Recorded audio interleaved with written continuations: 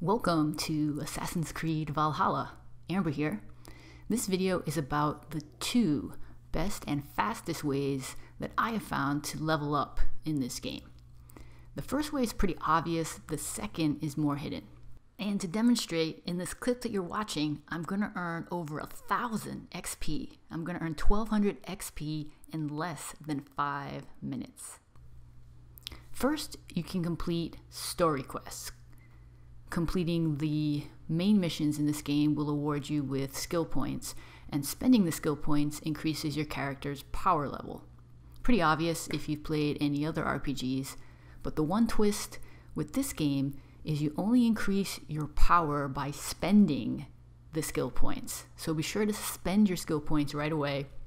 Even if you're not sure what skill you want next, you can always change your mind.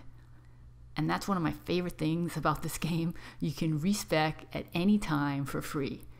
You can either reset your entire skill tree and start from scratch, or reset individual nodes.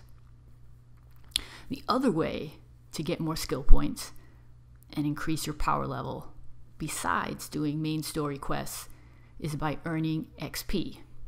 After earning enough XP, which are experience points, you'll get more skill points, which increase your power level. Now, the best and fastest way I've found to earn XP is by doing side quests. They're not called side quests in this game, and they do not appear in your quest log. They're called mysteries, and they appear as those blue circles on your map. In the clips you're watching, I'm doing mystery mini quests, and I've picked ones from early in the game in Norway and muted the audio to avoid spoilers to keep the mystery mysterious for you. But seriously, some of these little standalone mini quests are surprising, shocking, hilarious, and altogether unpredictable, which is another reason I recommend them, besides helping you level up fast. Why are mysteries great to level up? You'll see that in less than five minutes, I'm going to earn over a thousand XP by completing a mystery, which is massive when you consider that killing an enemy only earns you 10 XP. Well, maybe 15 if it's a stealth kill. Regardless, you need to kill hundreds of enemies to get the XP you can get from doing a couple mysteries. So, doing the mysteries is much faster than grinding enemies. Killing hordes of enemies to level up is a strategy that does work in other games, but not so much here. For Assassin's Creed Valhalla, here's the strategy I'd recommend. First, play through all the main story quests in an area. Complete any mysteries that are on the way, but don't go too much out of your way.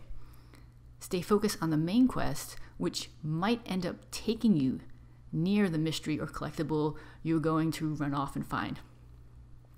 Easier said than done, I know. I really love exploring.